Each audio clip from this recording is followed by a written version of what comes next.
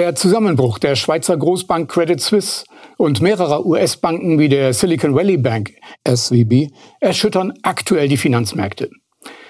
Die SVB rangiert mit einem Vermögen von über 200 Milliarden US-Dollar auf Platz 16 der größten US-Geschäftsbanken, womit ihr Kollaps der größte Bankausfall in den USA seit der Insolvenz von Lehman Brothers im Jahr 2008 ist. Noch bis zum 9. März stand die SWB angeblich auf einer soliden finanziellen Basis und hatte auch alle sogenannten Stresstests bestanden. Wie kam es nun zu diesem überraschenden Zusammenbruch? Steckt womöglich mehr dahinter? Ein Auslöser dafür war, dass Risikokapitalanleger wie der Founders Fund des Milliardärs und Bilderbergers Peter Thiel sowie einige große US-Geschäftsbanken, darunter JP Morgan, den Einleger rieten, ihre Gelder abzuziehen. Thiel vertritt die Theorie der schöpferischen Zerstörung, die besagt, dass Zerstörung notwendig ist, damit Neuordnung stattfinden kann. Dies führte zu einem wahren Bankrun, durch den an einem einzigen Tag 42 Milliarden US-Dollar abgezogen wurden. Der darauf folgende Zusammenbruch der SWB erschütterte dann das Vertrauen der Kapitalanleger derart, dass zusätzlich eine Kapitalflucht in Höhe von 120 Milliarden US-Dollar von den kleineren Regionalbanken hin zu den Großbanken ausgelöst wurde. Die Großbanken waren also die Gewinner.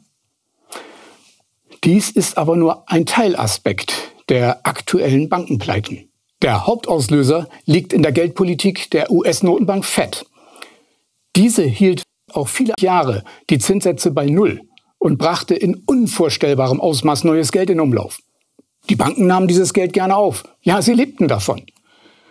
Sie investierten es in Spekulationsblasen und versuchten gleichzeitig das Risiko durch Investitionen in scheinbar sichere Staatsanleihen abzufedern.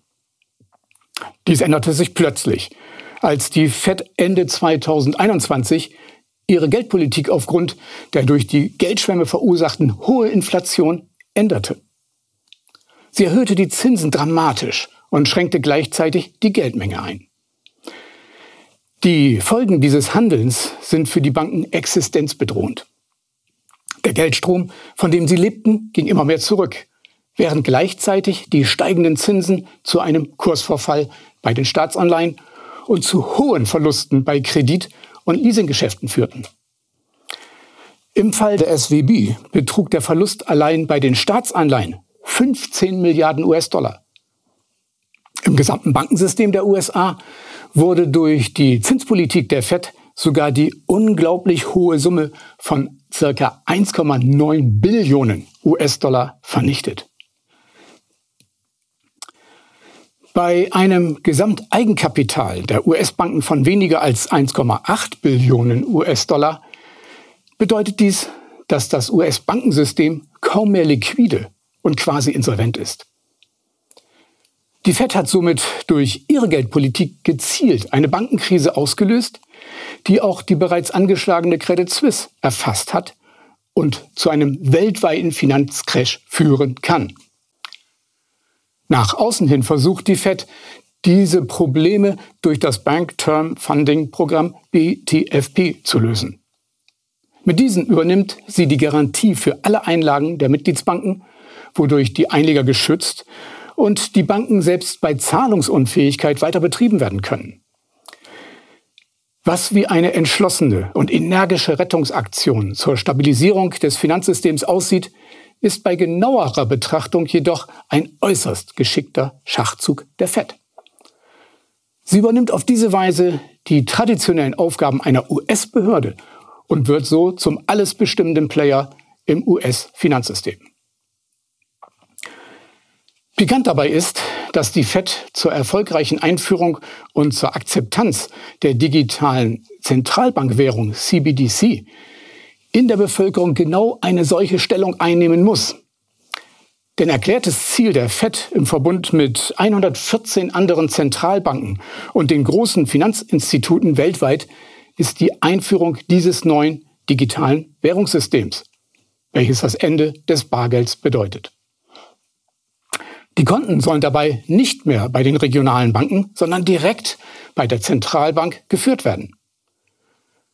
Um seine Einführung zu rechtfertigen bzw. zu beschleunigen, wird es jetzt den Einlegern als sicherer Hafen im Falle von Bank- und Finanzkrisen angepriesen, weil eben die Zentralbanken dann für die Einlagensicherheit garantieren. Vor diesem Hintergrund lassen sich die Bankruns und Finanzkrisen durchaus als Schlüsselereignisse einordnen, um die ahnungslose Bevölkerung in den sicheren Hafen der CBDCs zu locken und zur Annahme dieses neuen Währungssystems zu bringen. Der Haken ist, dass dieses digitale Geldsystem für die Menschen nichts anderes bedeutet als eine moderne Form der Versklavung. Es kann zum Beispiel jedes Konsumverhalten gesteuert oder auch regierungstreues Handeln durch Öffnen oder Schließen des Geldhahns erzwungen werden. Dadurch wird es denjenigen, die die Zentralbanken kontrollieren, möglich, der Menschheit ihren Willen aufzuzwingen. Dies sind superreiche Bankiersfamilien, wie zum Beispiel die Rothschilds, Rockefellers oder Warbocks, die auf ihrem Weg zu Reichtum und Macht vor keinem Verbrechen zurückschrecken.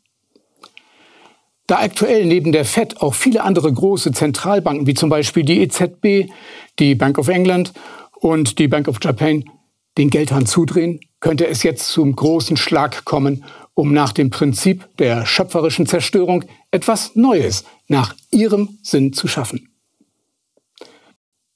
Doch wird das auch gelingen, wenn viele Menschen über die Risiken und großen Gefahren dieses neuen Geldsystems informiert sind und dagegen aufstehen?